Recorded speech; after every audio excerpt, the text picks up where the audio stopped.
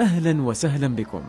من تراثنا السعودي الزاخر نستعرض معا فنا بحريا خاصا بالمناطق الساحلية في منطقة عسير وهو عبارة عن موالات يؤديها الصياد ومعه شبكة الصيد. وتأتي مجموعة تصطف حوله لغناء أهازيج وأناشيد بحرية ويقومون بالتصفيق لأجل إثارة حماس الصياد. نستعرض معكم الآن شكلا من أشكاله.